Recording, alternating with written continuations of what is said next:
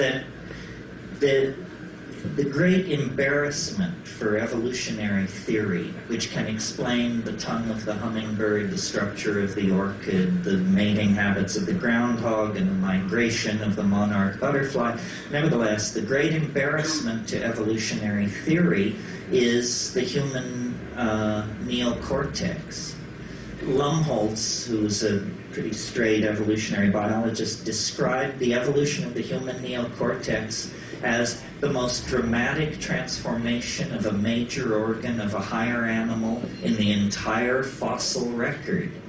Well, why is this an embarrassment? Well, because it's the organ that thought up the theory of evolution. So, you know, can you say tautology? That's the problem right there. So, it is necessary in evolutionary theory to account for the dramatic emergence of the human neocortex in this very narrow window of time. Basically, in about two million years, these higher they went from being higher primates, hominids, to being true humans, as truly human as you and I tonight what the hell happened? What was the factor? The Earth was already old. Many hundreds of higher animal forms had come and gone, and the fire of intelligence had never been kindled. So what happened? I think that the answer lies in, in diet, generally, and in psychedelic chemistry in particular. I think that as the African continent grew drier, we were forced out of the ecological niche we had evolved into, which was we were canopy dwelling primates, insectivores, complex signaling repertoire, uh, evolutionary dead end. But when we came under nutritional pressure, we were flexible enough and this is the key to humanness at every stage of its development, our maddening flexibility. Other animal and plant species can't react. We can. Our flexibility, we began to experiment with a new kind of diet and to leave the trees and explore the new environment of the grassland. And evolving concomitantly in the grassland were various forms of ungulate animals, double stomached animals, whose manure is the ideal medium for mushrooms, coprophytic mushrooms, dung loving mushrooms, many of whom produce psilocybin. Well, I myself in Kenya have seen baboons spreading out over a grassland and notice that their behavior is they flick over old cow pies. Why? Because there are beetle grubs there. So they already had a behavioral vector for nutrition, for protein, that would lead them to investigate the cow pies.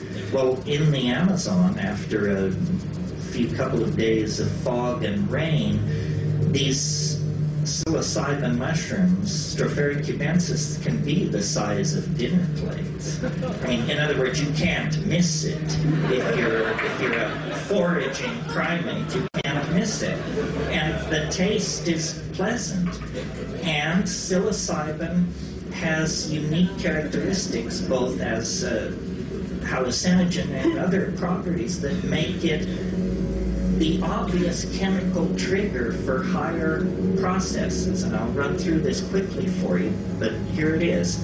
In very low doses, doses where you don't, you wouldn't say you were stoned or loaded or anything like that, but just in doses you might obtain by nibbling as you foraged, uh, it increases visual acuity.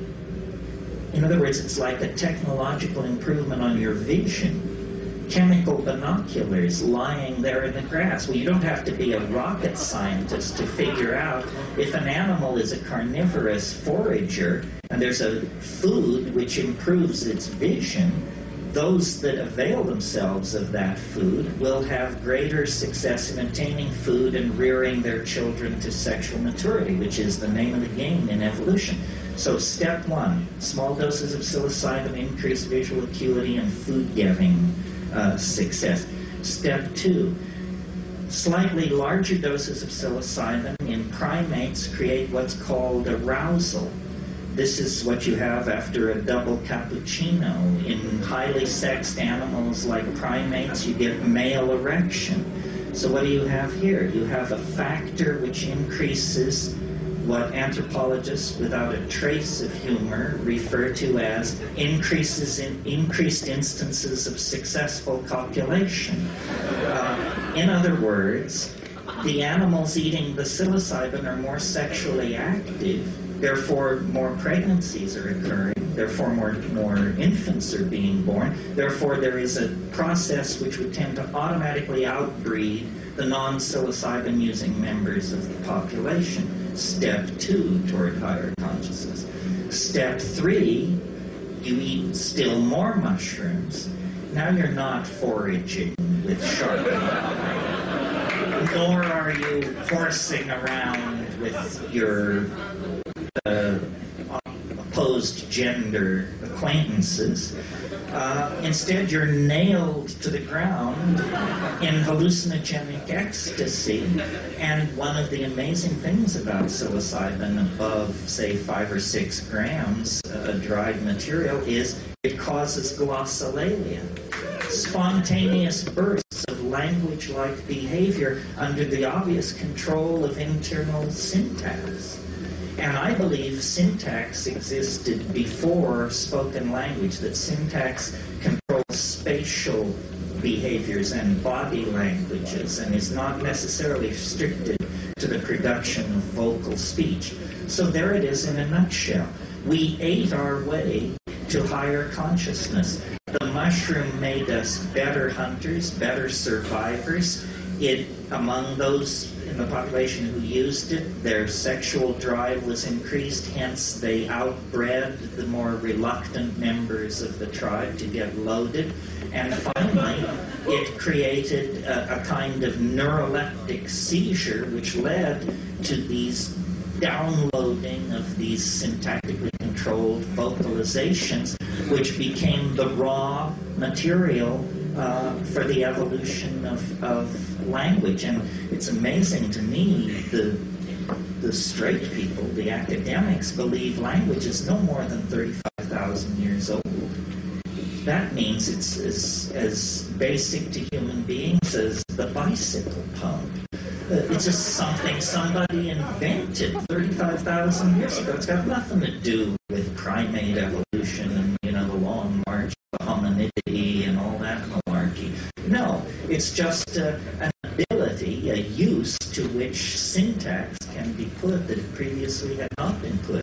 I think before language, spoken language, things were very touchy-feely, and the wink and the nod carried you a great distance, and, and uh, gestural communication was very high. That's why, and I should I say this and then end, to me it begins and ends with these psychedelic substances. The synergy of the psilocybin in the hominid diet brought us out of the animal mind and into the world of articulated speech and, and imagination. And technology developed and developed, and uh, mushrooms were, you know, invade against, faded. There was migrations, cultural change.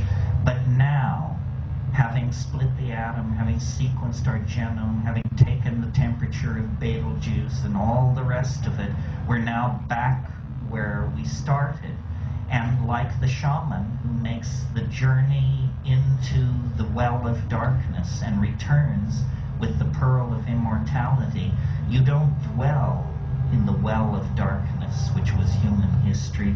You capture the essence of the thing, which is the godlike power of the shaman smith, the technologist, the, the demon artificer, the worker of metals, the conjurer of spirits, and you carry that power back out of history, and it's in that dimension, outside of history, that you create uh, true humanness and true community. And that's the adventure that we are in the act of undertaking. Thank you very, very much.